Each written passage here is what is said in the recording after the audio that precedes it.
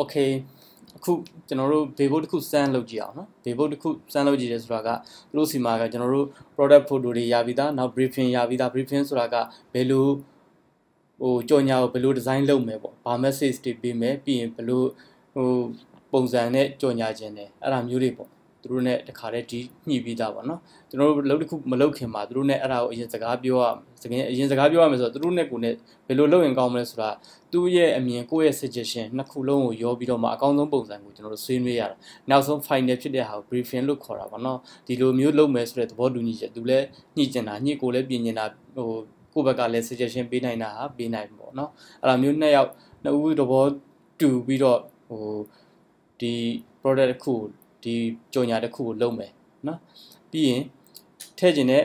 photo ဆိုရင်တကယ်လို့များဒီကျွန်တော်တို့ဟိုရည်ရွယ်ထားတဲ့ကျွန်တော်တို့စိတ်ကူးထားတဲ့ idea နဲ့တစ်ထက်တည်းကြဖို့နဲ့နောက်ဟိုအနည်းဆက်ဆုံးကြဖို့ပေါ့နော်နောက်တစ်ခုကဟို product photo ရှိရမယ်ကျွန်တော်တို့ဒီ design တွေလုပ်မယ်ဆိုရင်လေ product photo သူတို့ဘက်ကပေးရမယ်ကိုယ့်ဘက်က ဟိုဒီ product photo နီးစပ်ရဆွဲယူလို့မရဘူးသူတို့စီမှာရှိတယ်သူတို့ရဲ့ product photo ဟိုကျွန်တော်တို့တောင်းရမယ်ပေါ့နော် data raw ဟို site အကြီးဆုံးနဲ့အကောင်းဆုံးဖြစ်ဘေးဖို့ဆိုတော့အကောင်းဆုံးဖြစ်အောင် quality ကိုဟို site ကြီးကြီးဖြစ်တဲ့ raw photo ရရင်ပိုကောင်းတာပေါ့နော်သူတို့ အဲ့ဒါကကြတော့သူတို့ဟိုဘက်ချက်မှာဓာတ်ပုံဆရာနဲ့ရိုက်ပြီးသားဖြစ်ရင်ဖြစ်တယ်ဒါမှမဟုတ်ကိုကိုတိုင်ပဲကြီးကြက်ပြီးပါအားလုံးအစဆုံးလုပ်ပြီးပါဆိုတော့ကိုကိုတိုင်ပဲရိုက်ကွေးပါတွေပါတာဝန်ယူပေးရတယ်ဒါတော့တကယ်နာပါเนาะအခုတော့ကျွန်တော်တို့ photo product photo သူတို့ဆရာရပြီနောက်ကျွန်တော်တို့လုပ်မဲ့ design နဲ့ဟို light ဖက်မဲ့ element လေးတွေဥမာထားပါတော့တစ်တော်လေးတွေတို့နောက် background လေးတွေတို့နောက်ပြီးတော့တခါဟိုတခြားတချို့ element လေးတွေပေါ့နော်အဲ့ဒါမျိုးဟာလေးကြတော့တကယ်လို့ install ဟို Google မှာ free ပေးတဲ့ဥစ္စာရှိတယ်နောက်ဝယ်သုံးရတဲ့ဟာရှိတယ်မဖြစ်မနေဟိုဝယ်သုံးရမဲ့ background နဲ့မှလုံးဝဒီ product က live ဖက်နေတယ်ဆိုရင်သူတို့စီကိုအဲ့ဝယ်သုံးရမဲ့ဟို photo ကို screenshot ရိုက်ပြီးတော့သူတို့စီကိုပို့ပေးလိုက်ဒါကိုဝယ်သုံးရပါမယ်ဟိုအဆင်ပြေမလားပေါ့နော်အဆင်ပြေမလားဆိုတာသူတို့ဘက်ကထားပါတော့ဟိုဒေါ်လာ25ဒေါ်လာလို့30ဒေါ်လာ30တို့ပါတော့ကြာတင်ကြာတင်နေပြီအဲ့ဒါမျိုးသူတို့ကရတယ်ဝယ်သုံးလိုက်ပါဆိုတော့ကျွန်တော်ဝယ်သုံးပေးတယ်ပြီးရင် ကြားတဲ့အမောင်ထည့်ပေါင်းပေးလိုက်တာပေါ့နော်အဲ့ဒါမျိုးအဲ့ဒါတကယ်နာပေါ့နော်အခုတော့ကျွန်တော်တို့က product photo ကိုသူတို့ဘက်က briefing ကဘယ်လိုပေးလဲဆိုတော့အဲ Group Brother မှာရှိတဲ့ product photo တွေဒီ letter set တွေအများကြီးထဲကမှ Kubota ကိုပဲသီးသန့်ကြော်ညာချင်တာအဲ့ဒီအတွက် team ကဒီ Bebo ရဲ့ team က Kubota team ဖြစ်မယ်နောက် Kubota logo ပါရမယ် Kubota team ဆိုတာ Kubota ရဲ့ဒီ logo မှာပါတဲ့အယောင်ပေါ့နော်ဒီ Kubota company ရဲ့အယောင်ဟို orange ရယ် black ရယ် နောက်ပြီးတော့ဟို white ရယ်အဲ့ဒါမျိုးထဲကတစ်ခုပေါ့နော်ဒီ orange ကတော့ main color ပေါ့အာပြီးရင်နောက်တစ်ခုကဖြန့်ချီတဲ့ဖြန့်ချီတဲ့ဆိုတာကဒီ Cobra ကနေဖြန့်ချီတာဖြစ်တယ်ဖြန့်ချီတဲ့ Cobra logo ထည့်ပေးရမယ်နောက်ဖုန်းနံပါတ်ဒီ product ကိုစိတ်ဝင်စားလို့ဆက်သွယ်ခြင်းတယ်ဆိုရင်ဖုန်းနံပါတ်ကကြတော့ Cobra ရုံးချုပ်ဖုန်းနံပါတ်ရှိရမယ်နောက် branch တွေ branch တွေသူကအများကြီးရှိတာဖြစ်တဲ့အတွက်ဘယ် branch မှာကြော်ညာဥမာပကွေးမှာလားဒါမှမဟုတ်ရင်လေဒီပကိုးမှာလားတောင်ငူမှာလားတောင်ကြီးမှာလား ဟိုဒီလိုမျိုးပေါ့အများကြီးရှိတယ်သူကပသိမ်မှာလားမုံရွာမှာလားဒါမျိုးတွေမန္တလေးတို့ဘာလို့မှရှိသေးရဲ့သူတို့အဲ့အတွက်ကျွန်တော်တို့ကဘာလုပ်ပေးရလဲဆိုတော့သူကမကွေးမှာကြော်ညာခြင်းနဲ့ထားပါတော့ဆိုဆိုပါတော့မကွေးမှာကြော်ညာခြင်းနဲ့ဆိုမကွေးရုံးရဲ့မကွေးရုံးခွဲရဲ့ဖုန်းနံပါတ်ထည့်ပေးရတယ်အဲ့တော့သူကဖုန်းနံပါတ်နှစ်ခုပါတယ်ရန်ကုန်ရုံးချုပ်ဖုန်းနံပါတ်မဖြစ်မနေပါရမယ်နောက်မကွေးရုံးခွဲရဲ့ဖုန်းနံပါတ်ပဲပါရမယ်ဘေဘုတ်ဟာစ ကလုံးအ ਨੇ ဆုံးနဲ့အထိရောက်ဆုံးကိုကျွန်တော်တို့ကရွေးပေးရတယ်။ဘာကြောင့်လဲဆိုတော့ဘေဘုတ်တို့ရဲ့သဘောတရားကအဝေးကြီးမှာထားတာဖြစ်တဲ့အတွက်မြင်ရတယ်အဝေးကြီးကနေလှမ်းကြည့်ရတာဖြစ်တဲ့အတွက်အရင်ရှုပ်ရှက်ခတ်နေတဲ့ဟို element တွေနောက် background တွေနောက်တခြား product photo တွေဒါကြီးမသုံးစေဘဲနဲ့ရိုးရိုးရှင်းရှင်းပဲကောင်းတယ်ပြီးရင်စာကိုလည်းအထိရောက်ဆုံးနဲ့အတူဆုံး message နဲ့တွဲပြီးတော့ကြော်ညာတာအကောင်းဆုံးပဲပြောချင်တာကအခုဒီ ရန်ကုန်ရုံးချုပ်ဖုန်းနံပါတ်မကွေးရုံခွဲဖုန်းနံပါတ်ဖုန်းနံပါတ်ပဲထည့်တယ်လိပ်စာတွေမထည့်ဘာလို့ဆိုတော့ကျွန်တော်တို့ကအဓိကလိုချင်တာကဖုန်းဆက်မေးရင် inquiry ဖုန်းဆက်မေးတဲ့ inquiry ကိုရရင်ရပြီနော်ဟိုဖုန်းဆက်မေးပြီးတော့လိပ်စာပင်နားမှာလဲဆိုတာပြောလိုက်လည်းရတယ်ဘေဘုတ်ထဲမှာရှုပ်ရှက်ခတ်နေတဲ့စာတွေမပါစေချင်ဘူးရှင်းတက်နိုင်တယ်များရှော့စေချင်တယ်အဲ့ဒီအတွက်ကျွန်တော်တို့ဘေဘုတ်လုံးမယ်ဆိုရင်အရင်အရင်ဆုံးစဉ်းစားရမှာက location ကဘယ်လိုပုံစံမျိုးဖြစ်မလဲဥပမာဘေးမှာဟိုရှုပ်ရှက်ခတ်နေတဲ့ ဟိုမှာတစ်တော်တွေရှိနေသလားနောက်တခြားဘေဘုတ်တွေရှိနေသလားတခြားကုမ္ပဏီရဲ့ဘေဘုတ်တွေရှိနေဆိုတော့သူတို့ကဘာရောင်တွေတုံးထားလဲဒါမျိုးတွေပေါ့နော်အဲ့ဒါမျိုးတွေပါထည့်တွက်ရတဲ့ခိုင်လေးရှိတယ်ဖြစ်နိုင်တော့ဘေဘုတ်ထားမဲ့နေရာဘေဘုတ်အသုံးပြုမဲ့နေရာတွေပါရနိုင်ပိုကောင်းတာပေါ့နော်ဟပြီးတော့မှကျွန်တော်တို့က sketch နဲ့အကျန်းဆွဲပြတယ် sketch ကတော့အကျန်းဆွဲပြနေတော့ပိုကောင်းတာပေါ့မဆွဲလဲဘာမှမဖြစ်ပါဘူးဒါပေမဲ့ဟိုဆွဲပြနိုင်တော့သူတို့နဲ့ကိုယ်နဲ့စကားပြောတာပိုအဆင်ပြေတာပေါ့နော်နောက်တစ်ခုကပုံတွေရပြီဆိုရင်ကျွန်တော်တို့ကပုံတွေကိုတန့်ရမယ်ပုံတွေကို clear ဖြတ်ရမှာရှိတယ်သူတို့ကတော့ ဟို ready made ဟိုဟာတန်းပြီးတော့အသုံးပြုဖို့အဆင်သင့်ရမှာမဟုတ်ဘူးသူတို့ကိုတော်ရှေ့မှာရိုက်ထားတာဖြစ်ရင်ပြင်မဲ့ကိုတော်ထဲမှာရိုက်ထားတာလည်းဖြစ်ရင်ဖြစ်မယ်အကောင်းဆုံးပုံကိုယ့်ဘက်ကရွေးပြီးတော့2 dimension အနည်းဆုံး2 dimension ဖြစ်တဲ့ပုံဖြစ်ရမယ်2 dimension ဖြစ်ရမယ်ဆိုတာဥမာဟို flat ဘေးတိုက်တဲ့တွေကြီးမဖြစ်အောင်ရှေ့တဲ့တွေကြီးမဖြစ်အောင်နောက်တဲ့တွေကြီးမဖြစ်အောင်အဲ့ဒါမျိုးကိုပြောတာနော်နည်းနည်းလေးခက်ဆောင်းဆောင်းလေးပေါ့30ဒီဂရီလောက်စောင်းထားအောင်ပေါ့အဲ့ဒါမျိုးလေးတွေကိုကျွန်တော်ကရွေးရွေးတိုင်ပို့အဆင်ပြေတယ်နောက်တစ်ခုသူတို့ရဲ့ briefing ကပါလဲဆိုတော့ in service ဒီ product photo အလှပုံရဲ့နောက် in service ဆိုတာတကယ်ဒီလုပ်ငန်းခွင်ထဲမှာဝင်နေတဲ့ဒီလေထွန်ဆက်ရဲ့ပုံတံပေါ့နော်ဟိုရုံအားဘယ်လောက်ကောင်းလဲဆိုတော့ဟိုဖြစ်နိုင်ရင်လုံးဝဟိုဘယ်လိုပြောမလဲ heavy တွေလုပ်နေတဲ့ပုံစံတွေကိုကျွန်တော်ရနိုင်ပိုကောင်းတယ်အဲ့တွေလည်းသူတို့စီကနေပြီးတော့ပုံပေးမယ်လို့ပြောပါတယ်ဒါ agriculture provider service ကနေပြီးတော့ ASP လို့ခေါ်တဲ့ဌာနခွဲတစ်ခုကနေကျွန်တော်တို့ပုံပေးပါတယ်အဲ့ဒီအဲ့နှစ်ပုံကိုပေါင်းပြီးတော့ဟို element ဒီဟို ဆွဲဆောင်မှုရှိတဲ့အဓိကသူတို့ရဲ့ consumer ကဘယ်သူတွေလဲဆိုတော့တောင်သူလယ်သမားတွေတောင်သူဦးကြီးတွေရဲ့စိတ်ကြိုက်တောင်သူဦးကြီးတွေရဲ့လေယာစိုက်ပျိုးရေးလုပ်တဲ့လူတွေရဲ့စိတ်ကြိုက်ဟိုကြည့်လိုက်တာနဲ့ရိုးရှင်းရှင်းနဲ့တန်းသဘောပေါက်လွယ်တဲ့ visual မျိုးကိုကျွန်တော်တို့ဖန်တီးပေးရမှာဖြစ်တယ်အဲ့ဒီအတွက်ကျွန်တော်ကဒီနှစ်ပုံကိုမျှပြီးတော့ in service ရဲ့အလှပုံရဲ့နှစ်ခုပေါင်းပြီးတော့ဘယ်လိုမျိုးဆွဲဆောင်မှုရှိအောင်လုပ်မလဲဆိုတဲ့ idea ကိုကျွန်တော်တို့နဲ့သူနဲ့ညှိပြီးသားအဲ့ဒီအတွက်ကျွန်တော်တို့ကအဲ့ဒါကိုလုပ်ပြမှာဖြစ်ပါတယ် နော်အခုဒီပုံစံလေးတစ်ချက်နမူနာကြည့်ထားလိုက်ပါနော်ဒါကိုကျွန်တော်တို့ကဟိုဘယ်လိုပုံစံလုပ်ခဲ့လဲဆိုတာကိုအဓိကပြချင်တာဒါက confirm ဖြစ်ပြီးသားပေါ့နော်ဒါအကုန်လုံးပြီးပြီးသားဒါပေမဲ့ကျွန်တော်တို့အနေနဲ့ကဟိုရှေ့မှာပြောခဲ့ပြီးပြီဘာကြောင့်ဒီလိုလုပ်ဒီဒီဇိုင်းလုပ်လဲဆိုတာကိုကျွန်တော်တို့ဟိုဒါ intro လုပ်ပေးတာဖြစ်ပါတယ်ပြီးတော့မှဒါ software အသုံးပြုပုံလာပါလိမ့်မယ် software အသုံးပြုပုံတိုင်မှာမှဘာတွေပါရမလဲဆိုရင် theory ဘိုင်းတွေပါလာဥမာ balance တို့နောက်ဟို သုံးပိုင်းသုံးပုံတစ်ပုံတို့ဟာလာဒီကြားဥပါလိမ့်မယ်เนาะသုံးပိုင်းတစ်ပိုင်းဥပဒေနောက်ပြီးတော့ဒီဆွဲဆောင်မှုရှိအောင်ဘယ်လိုမျိုး composition ချမလဲနောက် match ဖြစ်အောင်အရောင်တွေကိုဘယ်လိုမျိုးခွဲမလဲလို့ဒါမျိုးလေးတွေကိုကျွန်တော်တို့က color ဘိုင်းတွေ composition ဘိုင်းတွေ perspective ဘိုင်းတွေနောက်တစ်ခုကစုဖွဲ့မှုဖြစ်တဲ့ဟို proportion အချိုးတွေအဲ့ဒါမျိုးတွေအကုန်လုံးကျွန်တော်တို့ကထည့်တွက်ရပါတယ် software ကြီးပဲသုံးရုံနဲ့မရပါဘူးเนาะအဲ့ဒါလေးတွေကိုတစ်ချက်လေ့လာဖို့ ကျွန်တော်စလိုက်အောင်เนาะ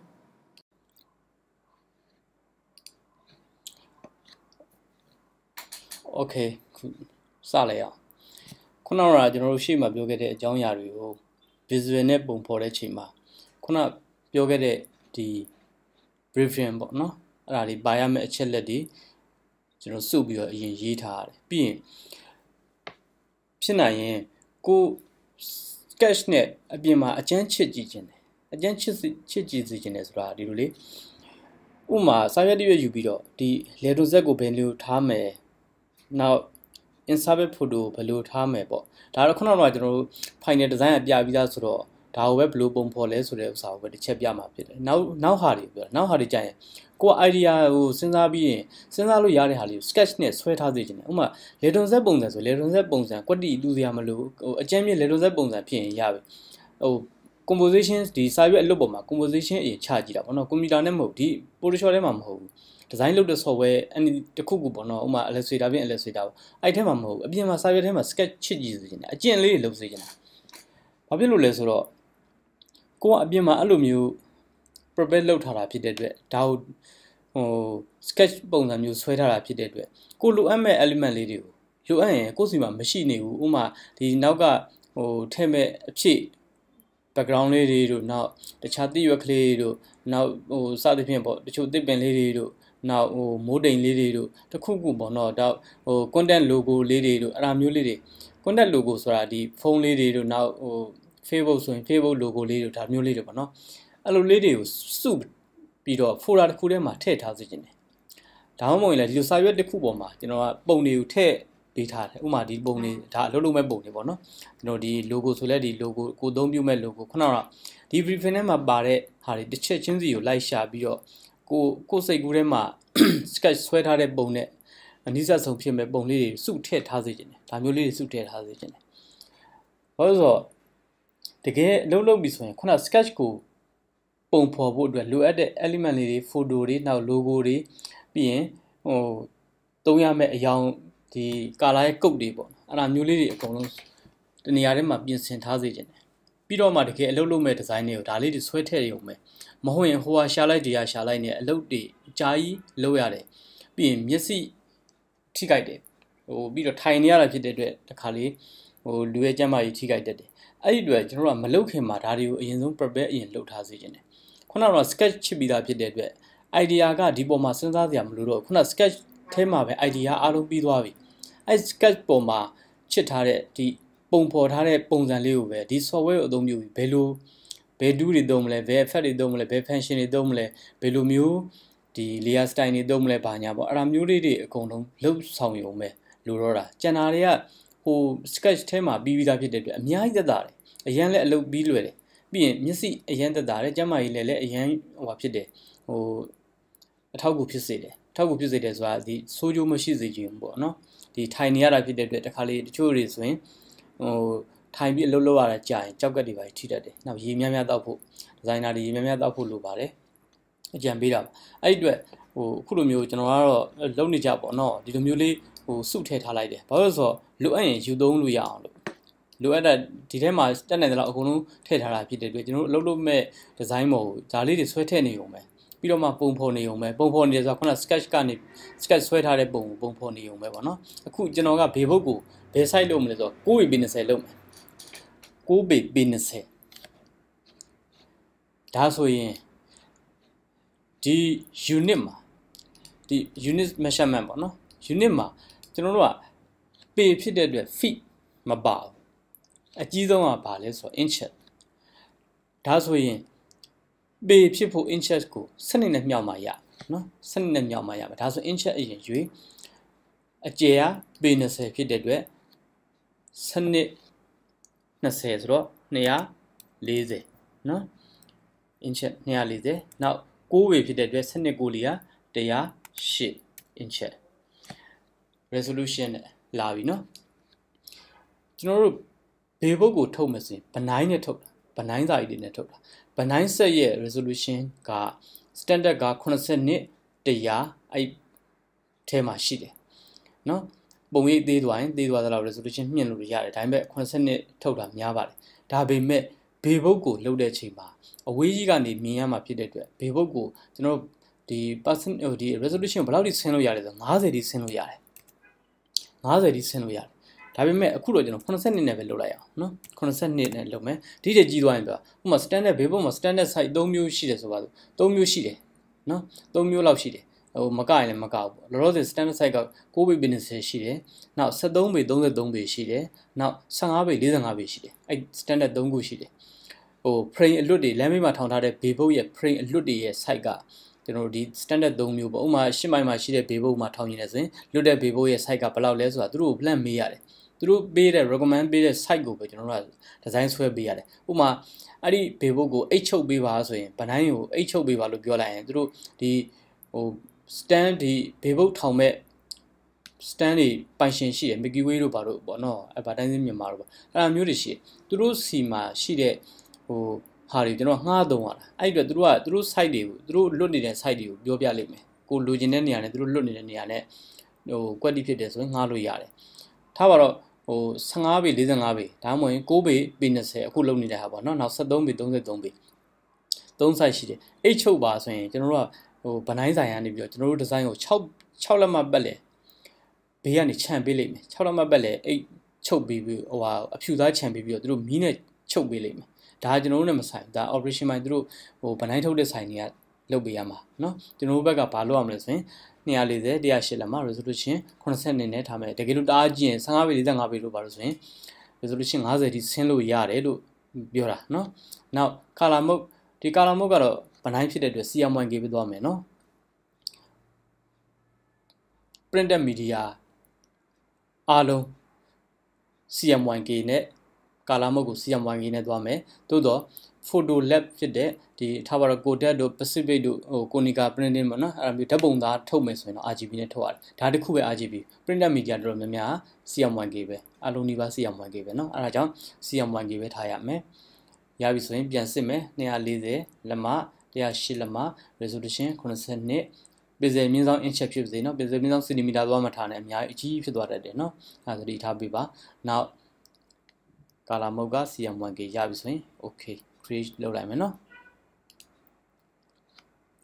ဒါဆိုရင်ခုနကကျွန်တော်တို့ paybook 6 pay 20ရှိတဲ့ paybook ရပြီ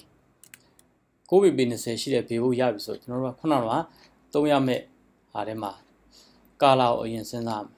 color ကခုနဗာပေးထားလို့ဆိုရင်ဒီမှာ brand color main color ကသူ့ရဲ့ ဒီကူဘူတာရဲ့ brand ကိုကြော်ညာတာဖြစ်တဲ့ကူဘူတာရဲ့ color ဒီမှာဒီအအောင်ရှိတယ်နော်အဲ့ကူဘူတာ color ကိုယူပါတယ်ကူဘူတာ color ကိုယူပြီးတော့မှကျွန်တော်တို့အလုပ်လုပ်မယ်နော်ကူဘူတာ color ရဲ့ဒီ sample color sample ကိုလှမ်းထောက်လိုက်ရတယ်ဒီ color picker ကနေဒီ color ကို picker လေးကိုနှိပ်လိုက်ပြီးရင်ဒီကောင်ကိုနှိပ်လိုက်ရတယ်နော်သူတို့မှာ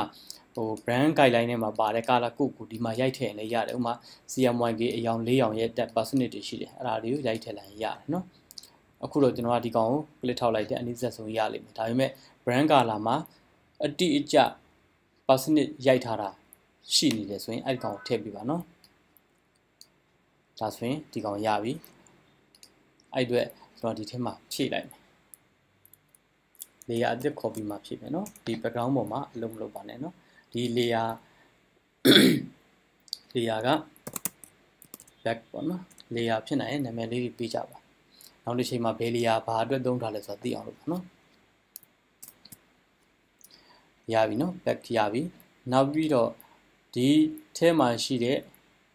ဒီပုံရဲ့ဒီပုံရဲ့နှမျိုးနော်ကျွန်တော်က insert photo ယူလိုက်မယ်ဆွဲချစ်မယ်ဆွဲချစ်တဲ့အချိန်မှာ control D နှိပ်တယ် transform နဲ့ဆွဲချစ်တယ်ဒီမှာ smart object တွေရှိနေတယ်အဲ smart object အခန်းကဏ္ဍပြီးခဲ့တဲ့ သင်ခန်းစာတွေတော့ပြောပြီးသားနော် smart object ကဘယ်လိုလုပ်လို့လဲဆိုတာလောလောဆယ်အကြံပြပြန်ပြောရမယ် smart object ကဒီပုံတို့ပုံကို package လို့ဟိုဒီအထုပ်ထုပ်ပုံစံမျိုးသူကချုပ်ထားတဲ့ပုံစံမျိုးလုပ်ထားတာသူကဘလောက်ဆွဲချက်ချက်မူရင်း quality ကိုကြာမသွားဘူးဟိုမူရင်း quality ကိုကြာမသွားဆိုတာဆိုပါလို့ဟိုဒီပုံကဟိုဆွဲချက်ထားတဲ့ပုံပေါ့နော်ဆွဲချက်အကြီးဥမာမူရင်းကအကြီးပဲ site ကအကြီး heavy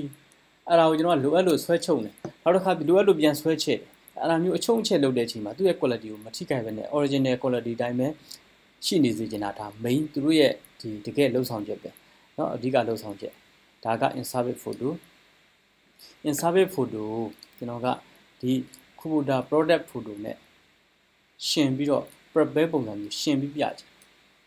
ရှင်ထားပြီးပြချင်ဒါအလှပေါ့နော်သူတို့ photo ရဲ့အလှ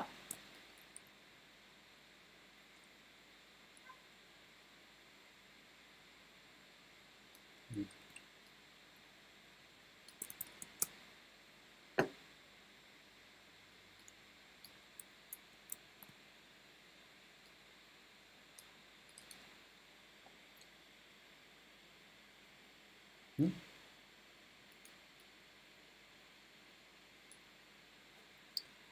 ရပြီ okay ဒါကိုကျွန်တော်က in survey photo တစ်ချမ်းပြီးရင်ဒီ product photo အလှပုံတစ်ချမ်းအဲ့လိုမျိုးလုပ်ထားတာနော်သူကဒီ Facebook area ရဲ့၃ပုံ၂ပုံကို product photo နဲ့အသုံးပြုမယ်လို့ပြောတယ်နော်၃ပုံ၂ပုံဒီကနေပြီးတော့ရေးကြည့်လိုက်ပေါ့နော်အကြံဉာဏ် 1 2 3ဆိုပါစို့ဒီ3ပိုင်းဒီ3ပိုင်းမှာဒီ2ပိုင်းကကျွန်တော် product photo နဲ့ဒီဘက်က message နဲ့ content လို့ဟိုဘက်မှာ briefing တော့ပြထားတယ်เนาะဒီမှာ message နဲ့ content ဒီ product photo နဲ့ဒီ message content 30 80เนาะအဲ့ဒါကိုကျွန်တော်ကအချိုး promotion လို့ခေါ်တာเนาะသုံးပိုင်းတစ်ပိုင်းဥပဒေနဲ့လည်းညီအောင်လို့ကျွန်တော်ကအဲ့ဒါမျိုးခြာထားပေးတာပြီးရင်ဒီကောင်က center of contrast ဒီကောင်ကိုလုံးဝအလေတဲ့တဲ့မှာဟို ကြည့်လိုက်တာနဲ့ဒီကောင်အရင်မြင်စေမြင်စေချင်တာအဲဒါကြောင့်နော်ဒါ main photo ဒီဘက်က insert photo ကရတယ်ဒီနေ့လေးနောက်ဆုတ်လိုက်နော်ပြီးရင်သူတို့နှစ်ခုပိုင်းမယ်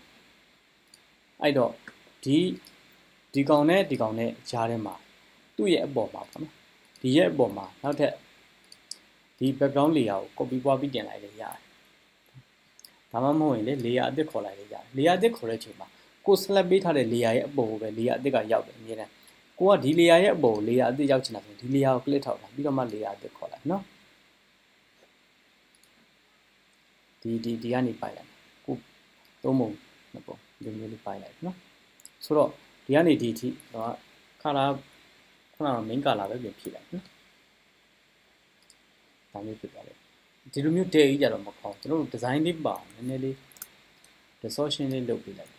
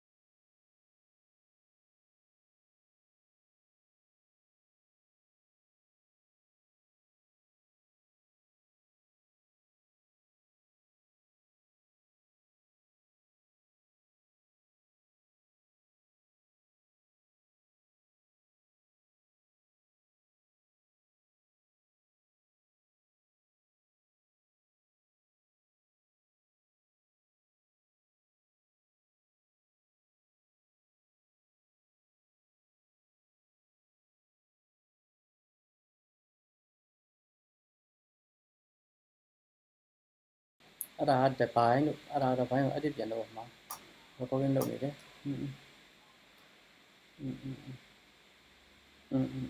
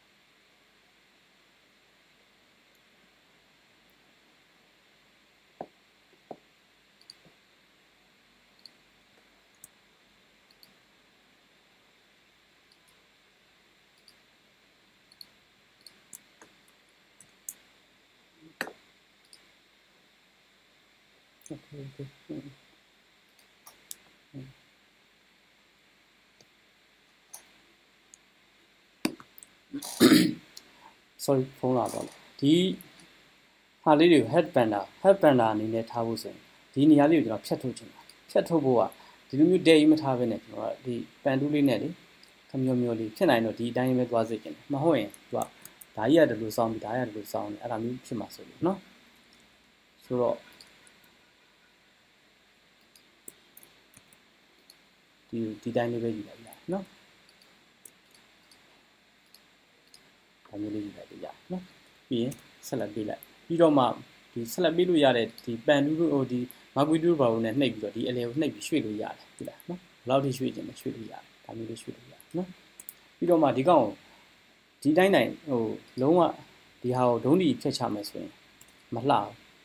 ဒီနေရာမှာကျွန်တော် white ကလေးထည့်ခြင်း white white သွားခြင်းအဲ့အတွက် selection တစ်ခုလုပ်ပြီးတိုင်းလုပ်ပြီးတိုင်းဘာလုပ်ရမလဲဆို select modify smooth လုပ်ပြီးတိုင်းဒီ corner radius ပေါ့နော်ဒီတောင်လေးတွေအချိုးလေးတွေကို radius ဖြစ်အောင်လုပ်ပြရကျွန်တော်တို့ radius ကတော့တန်ဖိုးအလိုက်ဟိုအနည်းများကိုမြည်ပြီးတော့သူကတောင်လေးတွေကိုွေးသွားလိမ့်မယ်နော်ဒါကတော့ကျွန်တော်90နဲ့လုပ်ထားတာပေါ့90နဲ့လုပ်ထားရင်ဒီလောက်ရမယ်တကယ်လို့90နဲတယ်ဆိုရင် control z ပြန်နေပြီးတော့ select modify smooth အဲ့မှာကျွန်တော်က80လောက်ထားကြည့်လိုက်ပါနော် ဒါဆိုရင်80နဲ့ညီမျှတဲ့တန်ဖိုးရပါလိမ့်ပြီးတော့မှဒီကောင် delete နှိပ်လိုက်ဒါမျိုးတွေဖြစ်သွားတယ်နော်နောက်တစ်ခုကဒီဒီနေရာလေးအဲ့နေရာလေးကိုလည်းကျွန်တော်ကဟိုပြန်ပြီးတော့ white ချင်နေတယ် white ချင်တယ်သူ့ကိုလည်းဘယ်လို white လဲသူ့ကိုလည်းဒီလိုမျိုးလေးဆက်လက်ပေးလိုက်ဒီအဖြူရောင်ဒီ heading bar ကိုကျွန်တော်ကဆက်လက်ပေးချင်တာအဲ့ဒါဆိုရင် control ဖြည့်ပြီးတော့ဒီ icon လေးကိုနှိပ်လိုက်ရတယ် ဒီဒီပုံလေးကိုနှိပ်လိုက်ဒါသူနဲ့ quality selection ဖြစ်သွားလိမ့်အဲ့ဒီကကျမှခုနက select modify smooth 80ပဲเนาะအတူတူပဲထားရမယ်ပြီးတော့မှဒီ80ပေးလိုက်လို့ရလာတဲ့ဒီ white ကလေးအပြင်ကိုဖြတ်ချင်တာဖြစ်တဲ့အတွက် selection ကိုပြောင်းပြန် inverse လုပ်ပေးရတယ်เนาะ inverse select လုပ်ပြီးတော့မှ eraser 2နဲ့ဖြတ်ရတယ်ဒါမှမဟုတ်ရင်လည်းဒီတိုင်းတိုင်းဖြတ်လို့ဒီဒီဒီနေရာလေးပါသွားတယ်ဒီနေရာလေးပါသွားတယ်เนาะအဲ့ဒီအတွက်ကျွန်တော်က eraser 2 shortcut က e ကိုနေရင်လည်းရတယ်เนาะ ပြီးရင်ဒီနေရာလေးကိုဖြတ်လိုက်ရမှာရပြီနော်ဒါဆိုရင်ဒီက smooth ဖြစ်သွားလိမ့်မယ်ဒါလေးကနော်ဒါမျိုးလေး smooth ဖြစ်သွားလိမ့်မယ်ဆင်းပြီနော်အဲ့လိုမျိုးလေးသွားနော်ဆိုတော့ပြီးတော့မှကျွန်တော်တို့ထည့်ခြင်းတယ် logo တွေပါလေပြောင်းထည့်လိုက်ရ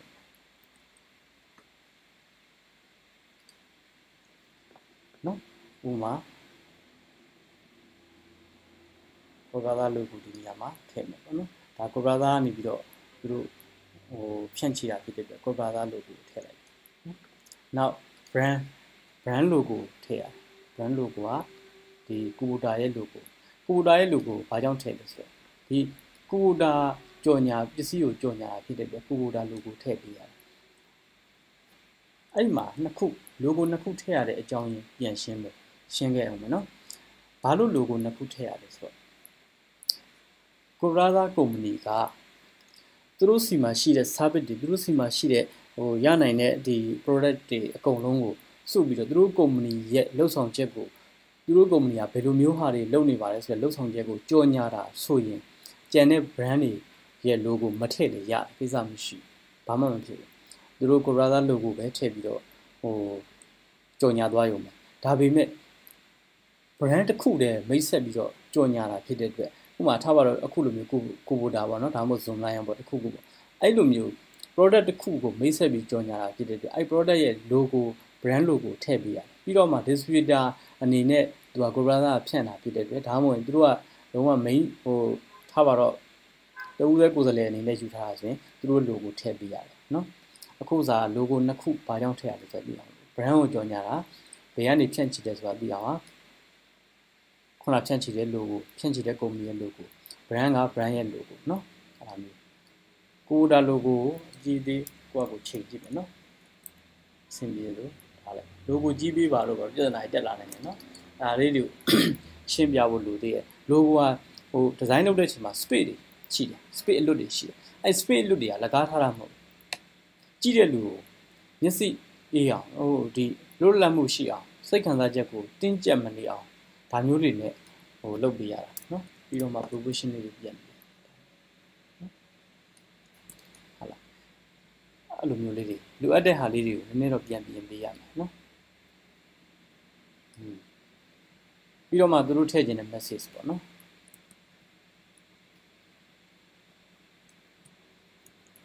သူကမြန်မာလိုထည့်ရဘာလို့မြန်မာလိုထည့်ရမြန်မာလိုဘာကြောင့်ထည့်ရ ခုနကတော့ကျွန်တော်တို့ပြောရနော် consumer ကတောင်သူဦးကြီးတွေဖြစ်တယ်ဒီ product ကိုအသုံးပြုမဲ့လူတွေဟာလေယာစာပြွေးနဲ့ဒီလေဒီလေထွန်တဲ့လူတွေဖြစ်တဲ့အတွက်ဒီ product ကောင်သားတွေများတယ်နောက်နေရလူတွေများတယ်ပြီးရင်သူတို့ကဘာကိုအဓိကသုံးစွဲကြလဲဆိုတော့မြန်မာဘာသာကိုပဲအဓိကသုံးစွဲကြတယ်နော်အဲ့ဒီအတွက်ဟိုသူတို့လူတိုင်းလူတိုင်းနားလဲအောင်မြန်မာစာကိုအဓိကထားပြီးသုံးလိုက်နော် ဒီနေရာမှာအင်္ဂလိပ်လိုမျိုးပါလိဖြစ်နိုင်ရင်အနည်းဆုံးနဲ့ရှောင်ပေးရမယ်နော်ဒီကိုဘိုဒါစလုံးသုံးတဲ့အချိန်မှာသတိထားပေးပါနော်အဝေးကနေပြီးတော့ဘေဘုတ်ဟာအဝေးကနေမြင်ရမှာဖြစ်တဲ့အတွက်ကျွန်တော်တို့ကဘာလုပ်ပေးရလဲဆိုတော့ဒီဘေဘုတ်ကိုတုံးထားတဲ့စလုံးဖောင်ဟာဟိုသူတို့ရဲ့ guideline မှာမထည့်ထားဘူး ဥပမာညီညွတ်ချက်တစ်ခုခုတက်တက်မတ်မတ်မရှိနေဘူးဆိုရင်ကျွန်တော်တို့အဆင်ပြေတဲ့စလုံးကိုတုံးပေးရမယ်အဆင်ပြေတဲ့စလုံးဆိုတဲ့နေရာမှာခုနကပြောသလို brand နဲ့လည်းလိုက်ဖက်ရမယ်ပြီးရင်ဟိုကြည့်ရတဲ့လူလည်းရှင်းနေရမယ်ရှင်းရှင်းလင်းလင်းမြင်ရဘာကြောင့်လဲဆိုတော့ဘေဘုတ်ဆိုတော့အဝေးကနေမြင်ရမှာဖြစ်တဲ့အတွက်သူ့ကိုအဝေးကနေမြင်နိုင်တဲ့အဝေးကနေကြည့်လို့မြင်တဲ့စလုံးရှင်းလင်းတဲ့စလုံးဖြစ်ရအဲ့လိုမျိုးပေါ့နော်အဲ့လိုမျိုးစလုံးဖြစ်မှကျွန်တော်ကအလုပ်လုပ်လို့ရဟိုဟိုဖြစ်လို့ရဒါဆို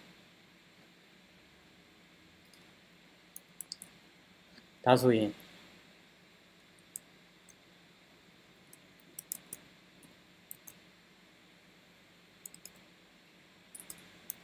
ကိုကိုဒါ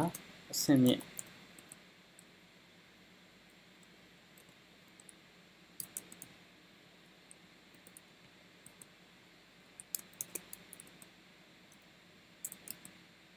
စစ်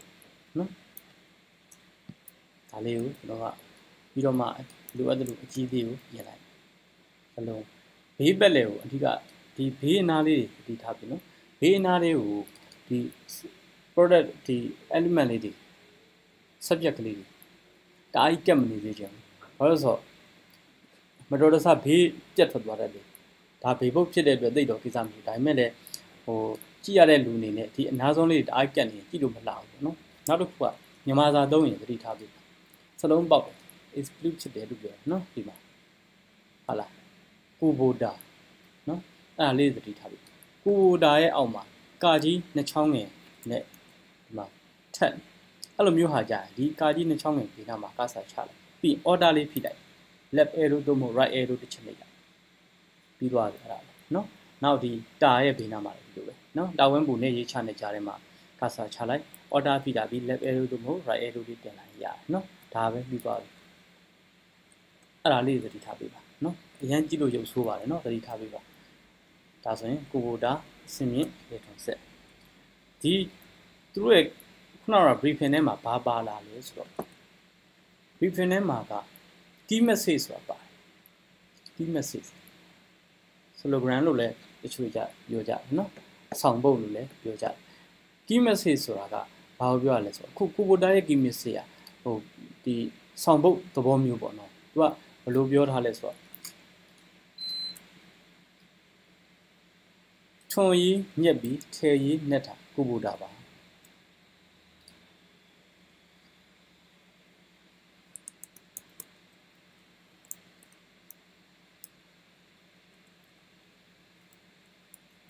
ထွန်ရီညက်တယ်နော်ထွန်ရီညက်ပြီးထဲရီနှက်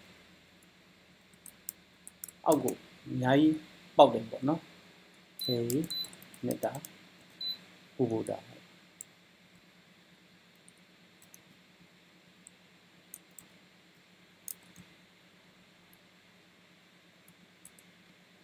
အဲ့ဒီဟာကြတော့ဒီ main message နဲ့တွားပြီးတော့မပြန်ရအောင် short ထားပြီသူက logo နဲ့တွဲထားတာဖြစ်နိုင်တယ် logo နဲ့တွဲထားတာများနော်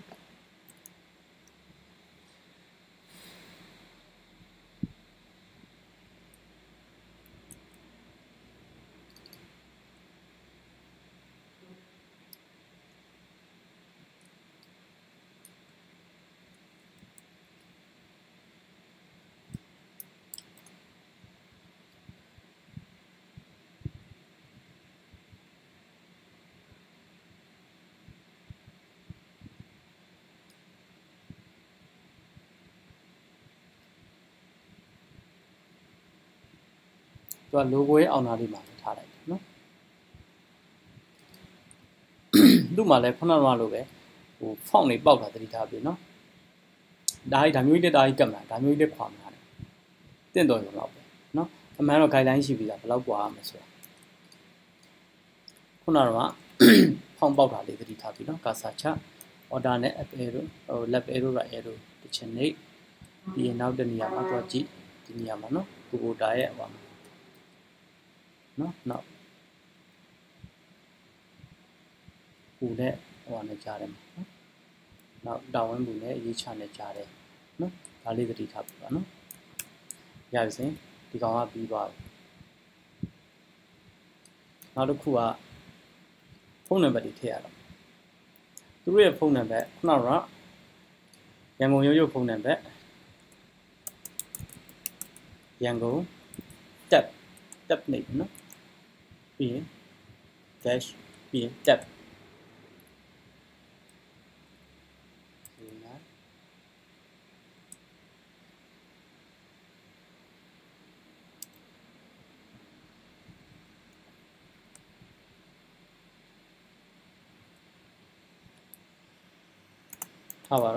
sample တစ်ခုခုထည့်လိုက်မယ်နော်ဒါကဒီရန်ကုန်ဖုန်းနံပါတ်ပေါ့နော်နောက် ဥမာထားတော့မကွေးပေါ့မကွေးဖုန်းနံပါတ်ဆိုရင်မကွေး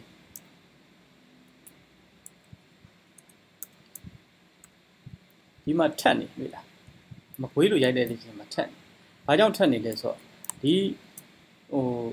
leading line ပေါ့စာကြောင်းအပေါ်အောက်တစ်ကြောင်းနဲ့တစ်ကြောင်းအကွာဝေးကို leading line လို့ခေါ်တာအဲ့ leading line ကိုပြင်ချင်ရင်ဘယ်ကနေသွားပြင်လဲဆိုရင်ဒီမှာရှိတဲ့ဒီ character specification လို့ခေါ်တယ်အဲ့ဒီထဲမှာရှိတဲ့ຢာလေးတွေနဲ့သွားပြင်ရတယ်နော် leading line ခုဒီမှာ leading line က 29ဖြစ်နေတယ်နော်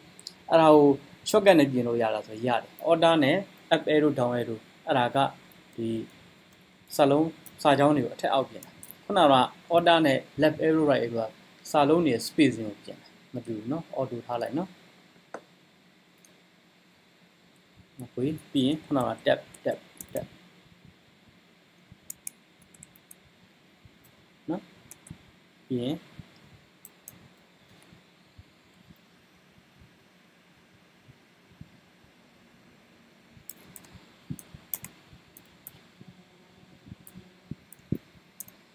ဒါဒီမကွေးဖုန်းနံပါတ်ဒါဆိုရင်ဒီဟာကသူတို့ဒီဆက်သွယ်ရမယ့်ဖုန်းနံပါတ်ပြီးပြီနော်ဒါဒီပုံမှာမူတည်ကျွန်တော်တို့ပေးခြင်းတဲ့ message တွေအကုန်ပါမပါကြည့်မယ်ပြီးရင်ဟိုသူတို့ရဲ့ briefing ထဲမှာကိုဘာတွေကြံသေးလဲလိုက်ကြည့်မယ်ပြီးပြီးအားလုံးစုံပြီဆိုမှကျွန်တော်တို့ကဘာတွေပြန်ပြရမလို့ဆိုရင်တချို့ဟာလေးတွေလူတို့ဘူရှော်လေးတွေပြန်ပြီးတော့ကစားရမယ်နော်ချို့ကြည့်နေတာကြည့်သိနေတာကြည့်အဲ့ဒါမျိုးလေးတွေပေါ့နော်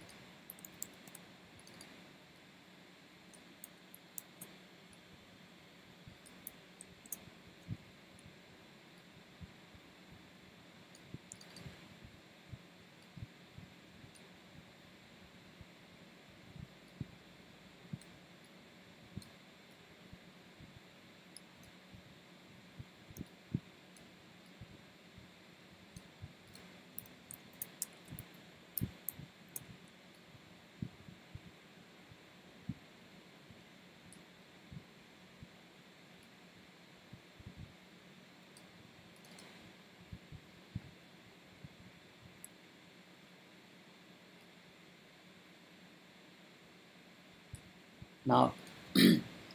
ကိုကသာ company limited ဒီမှာပါနော်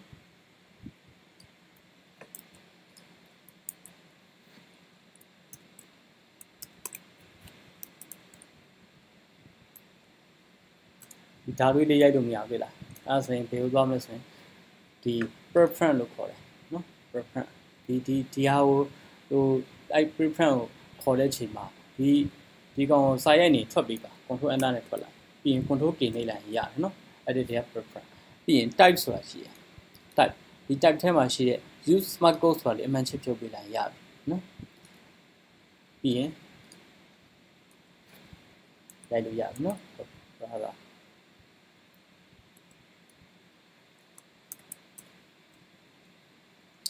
ဘာသာမှာဒီချာစစ်ပေးပါနော်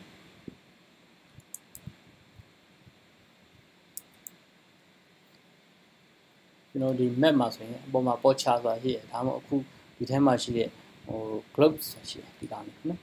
အဲ့ထဲမှာကျွန်တော်တို့လိုချင်တဲ့စလုံးစင်တွေ double click နှိပ်လိုက်ရင်ရတယ်ပါဆောက်စင်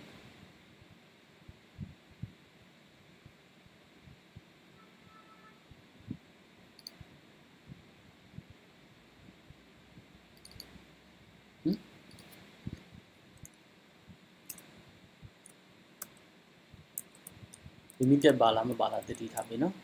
တချို့ company က limited ပါတချို့ company က limited မပါဘူးနော်အားလေးတွေသတိထားပြီရပြီဆိုရင်ကိုကသာ company limited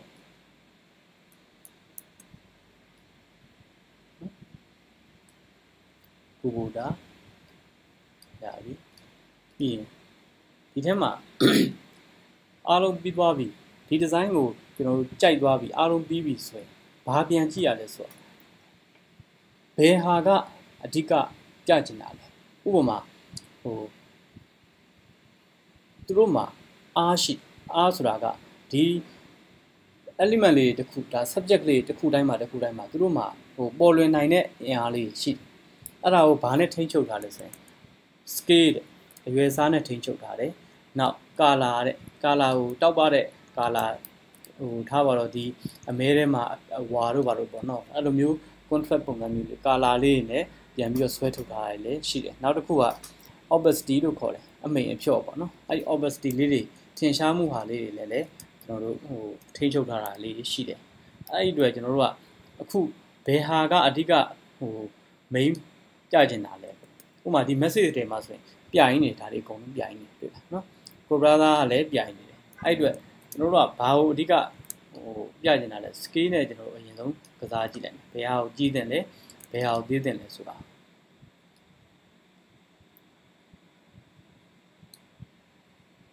နော်ဒါတော့လည်းနည်းကြီးပြရမလားဒါကသူက main နော်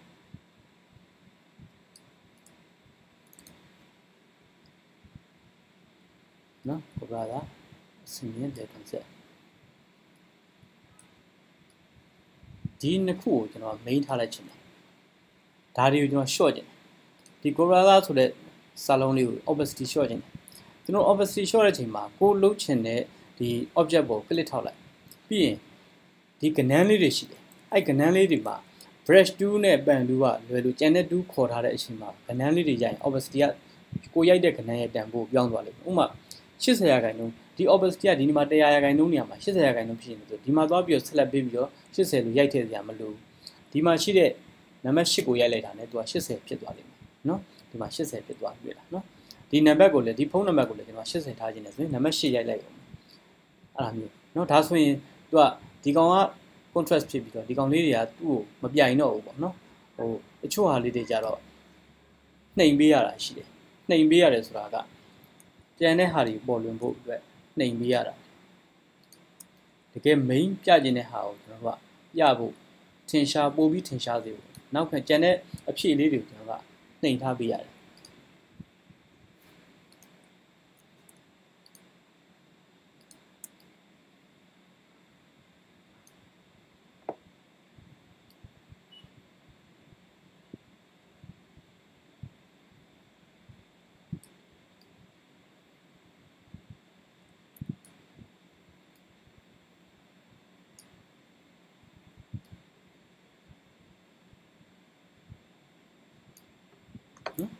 ရပြီဆိုရင်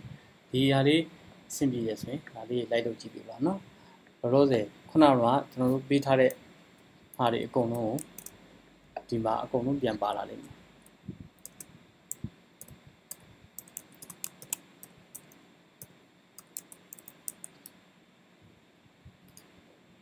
ဒါလေးချုပ်ပြီးတော့နော်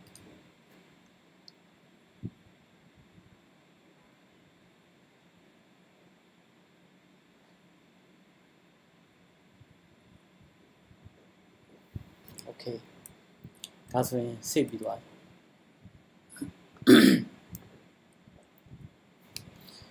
မရှင်းတာရှိရင်တစ်ချက်မှတ်ထားပြီး live လုပ်ကြည့်လို့မရတဲ့နေရာလေးတွေမှတ်ထား